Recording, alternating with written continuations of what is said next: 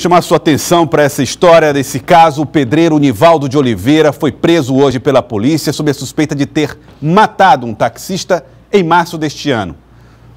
O crime aconteceu num um prostíbulo, fica no bairro Lorival Parente, na zona sul de Teresina. A vítima foi José Idelmar Lima, que estava sentado na calçada, de costas para a rua, quando levou um tiro na nuca. O crime seria resultado de uma quebra de acordo Veja só. A quebra de acordo depois de um acidente de trânsito. Segundo a polícia, o suspeito foi reconhecido por testemunhas. Vamos ver na reportagem de Tiago Melo. O investigado foi preso enquanto trabalhava como pedreiro na zona leste de Teresina. Nivaldo Fernandes de Oliveira é apontado como autor do assassinato do taxista José Ildemar Lima, na noite de 14 de março desse ano, em um bar no bairro Lorival Parente, zona sul da capital.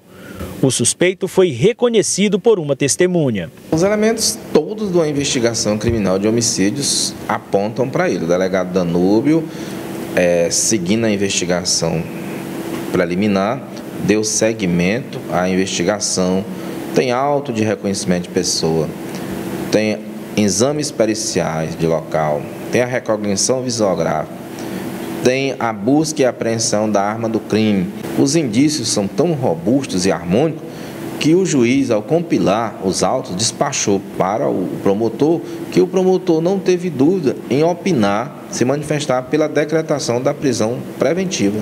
E o Demar, conhecido como Zé Grandão, estava em uma mesa de costas para a rua e foi atingido na nuca.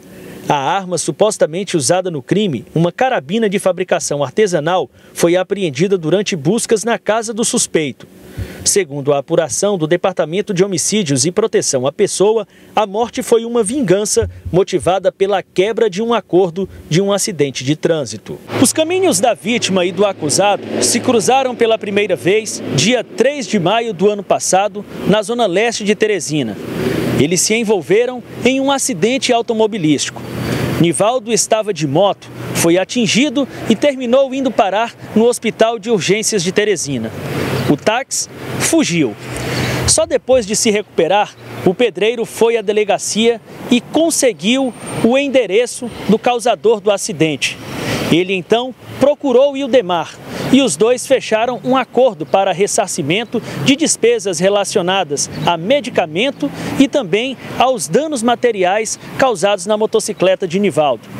Só que o taxista não teria cumprido com o combinado e isso gerou um conflito entre os dois. Ele foi ao ponto de táxi, conversou com ele, depois tiveram uma grande discussão e daí passou a não ter mais entendimento, gerou um conflito e ele começou a planejar o, crime. É tanto que no dia da, do que foi consumado, ele, ele premeditou todo o crime, fez todo um planejamento, ele seguiu o taxista até na Zona Norte.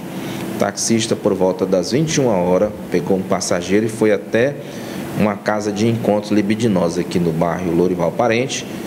E lá, coincidentemente, sentou na mesa como cliente, ingerindo bebida alcoólica, e deu as costas para a rua.